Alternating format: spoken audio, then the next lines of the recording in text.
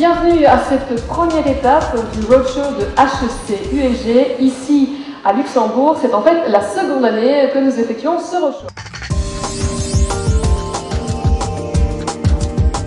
D'installer une excellence, un premier niveau d'excellence européenne pour l'école euh, sur, euh, premièrement, quelques choix très très importants de, sujets sur lesquels l'école euh, pourra dans les années qui viennent se faire connaître et attirer surtout beaucoup plus d'étudiants étrangers qu'aujourd'hui. What do you think about um, the team of the of, of this roadshow? About the team, you mean? I think it's a very good team.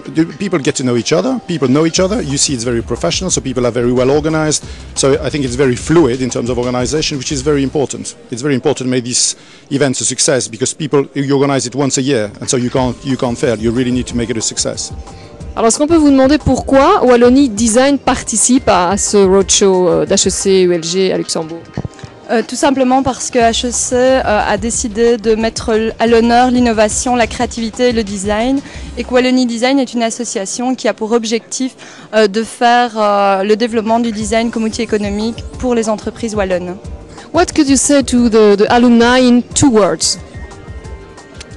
um, be connected, stay connected, and connect others to uh, this great thing as this network being a living network where this is only living thanks to the alumni.